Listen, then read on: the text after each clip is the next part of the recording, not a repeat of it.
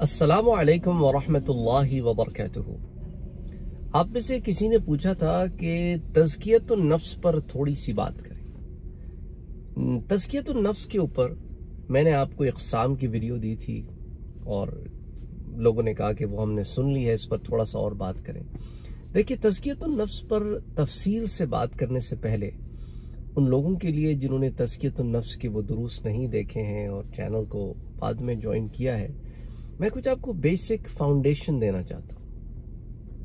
कुरान करीम में अल्लाह ताला फरमाता है कि फला पा गया वो, कद अफलाहा, वो फला पा गया। कौन? जिसने अपने नफ्स का तजकिया किया। और वो बर्बाद हो गया, वो नामुराद हो गया, जिसने ऐसा नहीं किया। वक़्त ख्वाब मन दस्सा। तो अब तस्किया जो है, ये असल में है क्या? और क्या तस्किया तो नफ्स, यानी नफ्स को पाक करना, क्या ये फ़राइज नबूत में से है? तो कुरान करीम को मुताला करने से ये बात हमारे सामने वाज होती है कि अल्लाह ताला ने जब अपने अम्बिया को मबूस फरमाया तो यतलु अलहिम किताब के साथ साथ कि इन्हें अल्लाह की किताब पढ़ के सुनाएँ। यतलु व युअल्लिमुहुम और उनको तालीम भी दें। कि पढ़ के भी सुनाना है, तालीम भी देना है, और उन्हें हिकमत भी देनी है। युअल्लिमुहुमुल किताब वल हिकमा भी करना है, और साथ साथ वह युजक्कीहिम, और उनका तजकिया भी करना है। चारों फराइज नबूत के हिस्से में कि किताब का पढ़ना, किताब की तालीम देना, उसको समझाना, हिकमत का समझाना, और साथ ही साथ तस्किया का करना। अब तस्किया है क्या? तस्किया कहते किसको है? तस्किया का मतलब होता है कि हमारे अंदर अल्लाह ताला ने ये जो इंसान है ना, इसके अंदर रूह भी है, इसके अंदर जिस्म भी है, इसके अंदर नफ्स भी है। ये सब का मुरक्कब है इंसान। जब बशर बन जाता है तो ज़ाहिर हो जाता है। ये जो दुनिया है, इसमें बसूरत बशर ज़ाहिर है। लेकिन इंसान बसूरत रूह आलम अरवाह में पता नहीं सैकड़ों, करोड़ों, अरबों, खरबों साल से कब से है। इंसान है। और रूह में तमसील हासिल करने से पहले भी अल्लाह ताला के इल्म में इंसान था। और एक ऐसा वक्त इंसान पर गुजरा इस ज़मीन में कि इंसान तो था, पर काबिल ज़िक्र शय न था। अब बशर हो गया। अब रूह का और जिस्म का मिलाप हो गया। फिर रूह और जिस्म बजाहिर जुदा हो जाएँगे, जिसे मौत कहते हैं, लेकिन एक ताल्लुक कायम रहेगा, जिसे बरजख कहते हैं। फिर रूह और जिस्म दोबारा मिल जाएँगे, आलम क़यामत कायम होगा, उसके बाद सजाओ जजा का मामला होगा। तो ये तमाम मामला इंसान के ऊपर ही हैं, मुख्तलिफ़ शक्लों में। तो इंसान के अंदर ये जो नफ्स आ गया ना इस दुनिया में आने के बाद, इस नफ्स ने उसे इम्तिहान में डाल दिया। क्या इम्तिहान में डाल दिया? नफ्स ख्वाहिश करता है। नफ्स ख्वाहिश करता है। जब ख्वाहिश करता है तो इंसान के अंदर ये चीज़ होनी चाहिए कि ये ख्वाहिश जायज़ है, ये ख्वाहिश जायज़ नहीं है। ये कंट्रोल होना चाहिए ना।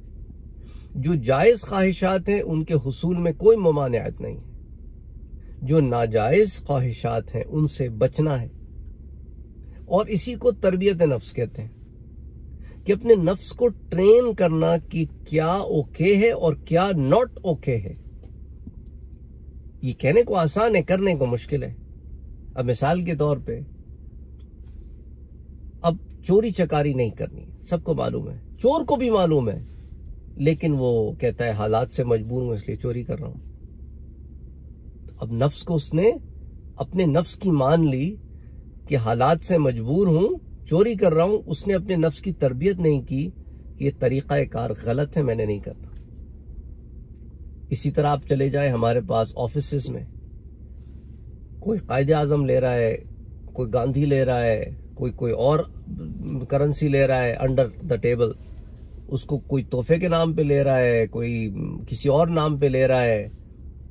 रिश्वत है बेसिकली वो कहते हैं जी ज़रूरियात ज़िंदगी लगी हुई है, तनख्वाह में गुजारा नहीं होता।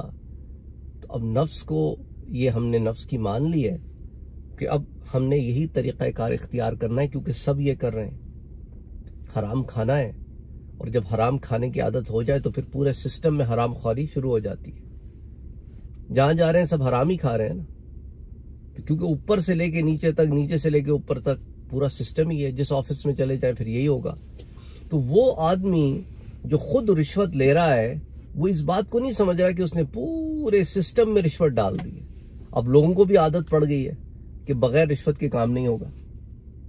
तो ये सारी नफ्स की खराबियाँ हैं कि हम नफ्स की इतबा में चल पड़ते हैं। इसी को अल्लाह ने कहा कि वो जो नफ्स की इतबा में चल पड़ते हैं, और फिर वो इसको परखते नहीं कि ये ठीक है कि गलत है, बस वो इत्तबा नफ्स कर रहे होते और एक ऐसी चीज़ के पीछे चल रहे होते हैं जो उन्हें घाटे और खसारे की तरफ़ ले जाती है। असफला साफिलीन कर देती है, गिरतों से गिरता कर देती है। तो ये नफ्स को कंट्रोल करना बड़ा दिल करता है यार, कोई आके घटिया सा कमेंट करे ना, बड़ा दिल करता है यार, इसको तो आज मुँह तोड़ जवाब दे दो। पर कहता है, बंदा नहीं यार, फिर इसमें और मुझमें क्या फ़र्क रहा?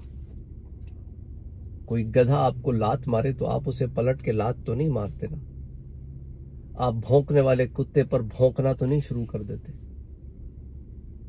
अगर आपने अपने आप को एक मुकाम पर अपने नफ्स की तरबियत करके लाए हैं तो अगर किसी की तरबियत नहीं हुई भी और वो कोई गलत बात करता है तो आप उसकी सतह पर गिरेंगे नहीं। क्योंकि आपका नफ्स फिर बर्बाद हो जाएगा, आपकी जो रियाजतें और मेहनतें वो तो खत्म हो जाएँगी।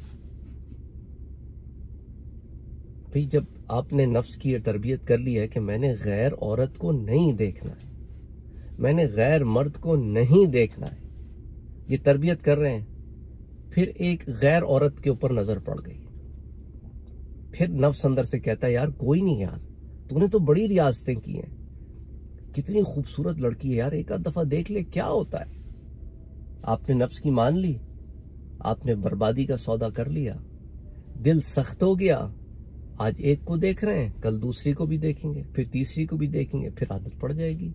फिर एहसास ही नहीं होगा।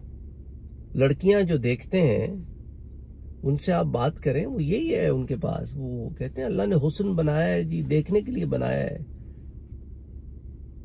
उसी अल्लाह ने तुम्हें मना भी किया है ना कि कौन सा हुसन देखना है और कौन सा नहीं देखना। ये तुम्हें पहाड़, दरख्त और दरिया नहीं नज़र आते। ये खूबसूरत फूल नहीं नज़र आते। तुम्हारी निगाहें वो एक ही चूस करके हुसन पर जाकर क्यों ठहरती हैं? इसका मतलब है कि तुम नफ्स की इत्तेबा कर रहे हो और उसके लिए तुम दीन के साथ मज़ाक कर रहे हो, खिलवाड़ कर रहे हो। वो जी, पहली नज़र माफ़ है, हम तो पहली नहीं उठाते अस्तफिर अजीम हादीस मुबारक के साथ छट्टे हो रहे ये मुसलमान है। अस्तफिर अजीम ऐसे ऐसे इन्होंने जोक्स बनाए हुए हैं, जन्नत पर, जहन्नुम पर, कब्र पर अल्लाह माफ़ करे, अल्लाह माफ़ करे। क्या वजह है? ये इतने बेलगाम क्यों हो गए क्योंकि नफ्स की तरबियत नहीं हुई। अंदर ये जो घोड़ा है, ये बेलगाम हो गया, बागी हो गया, कुछ भी बोल दो। इट्स ओके क्योंकि मैंने तो कलमा पढ़ रखा है। मेरे पास तो जी टिकट है जी जन्नत का। मैं तो जाना ही जन्नत है। किसने कहा भाई? गुस्ताखियाँ और बेअदबियाँ करते फिरोगे और फिर, यानी, क्योंकि एक गलत पट्टी पड़ी हुई है। तो इसलिए तरबियत नफ्स जो है ना मेरे भाइयों और मेरी बहनों, इसका बड़ा ताल्लुक होता है, कदम कदम पर अपना मुहासिबा करो, अपनी अकाउंटेबिलिटी खुद करो। ये तरबियत नफ्स का हिस्सा होता है। इमाम मुहासबी रहमत आपका नाम मुहासबी पता है क्यों पड़ गया था? आपकी एक बड़ी मशहूर स्टेटमेंट है, आप कहते थे, हासिब नफ्स का आला कुल्ली खतरा। अपने नफ्स का मुहासबा कर हर खतरे से। अब ये खतरा क्या होता है? ये जो पहला पहला आपके दिमाग में कोई ख्याल उभर के आता है ना, पहला ख्याल उसको खतरा कहते हैं। हम तो बहुत बाद की चीज़ है। खतरा सबसे पहले आता है। हाजिज भी बहुत बाद की चीज़ है। पहले खतरा आता है, पहला ख्याल जो आता है। वो कहते हैं, बुरा हो तो वहीं कुचल दो. इसलिए बाज उलमा का वो ज़िक्र करके कहते हैं कि वो रोज तीन कॉलम्स बनाया करते थे, रोज रात को सोने से पहले। पहला कॉलम जो काम किए अच्छे, दूसरा कॉलम जो काम किए बुरे, और तीसरा कॉलम कोई खतरा आया पहली दफ़ा बुराई का। And how did I how how did I dealt with it how did I deal with this particular problem कि मैंने इसको कैसे हल किया? या हल नहीं हुआ मुझसे? अगर हल नहीं हुआ तो फिर मैं किसी के पास जाऊँगा, जो तस्कियत नफ्स का उस्ताद होगा, उससे कहूँगा कि ये खतरा मेरे पास आया है। इस खतरे को मैं यहीं किल करना चाहता हूँ, इससे पहले कि हाजिज बने, इससे पहले कि हम बने, इससे पहले कि इरादे तक पहुँच जाए, और फिर मेरे लिए मुश्किल हो जाए, मैं खतरे की हालत में इसे खत्म कर देना चाहता हूँ, ताकि ये थॉट रियकरेंस में ना चली जाए। फिर फिर आना शुरू हो जाए। इस तरह उनका नाम इमाम मुहासबी पड़ गया कि वो अपना खुद हिसाब करते थे रोज। तो बहरहाल, ये कहना आसान है, करना मुश्किल है, लेकिन जो कर लेता है, वही फला पा जाता है कि कद अफलाह मन तजक्का। फला पा गया वो जिसने तस्किया किया। और फला पाना क्या है? अल्लाह राज़ी हो गया। और अल्लाह जिससे राज़ी होगा, उसे क्या देगा? उसे नेमते देगा। और नेमतों में एक नेमत जन्नत भी है। और जन्नत की आला तरीन नेमत अल्लाह का दीदार है। तो बहरहाल कहने का मकसद यह है कि तस्कियत नफ्स है क्या? वो मैंने आसान लफ्जों में आप तक ये बात पहुँचाने की कोशिश की है। इसके अंदर बड़ा अमल दखल है अकाउंटेबिलिटी का। अकाउंटेबिलिटी कि अपना खुद मुहासबा करो।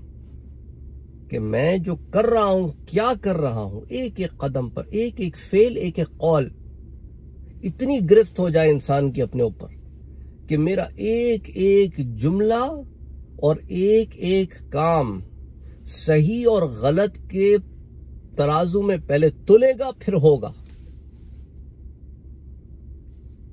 तो बहरहाल, अल्लाह ताला बेहतरी करे। अल्लाह ताला हम सबको माफ़ फरमाए। हमारे गुनाहों को बख्श दे कल इमाम महदी के सिलसिले में एक मैंने आपको दर्ज दिया था, वो 2024 में आ रहे हैं कि नहीं। उसमें शायद स्लिप ऑफ़ द टंग की वजह से मैंने आपसे एक बात कर दी थी।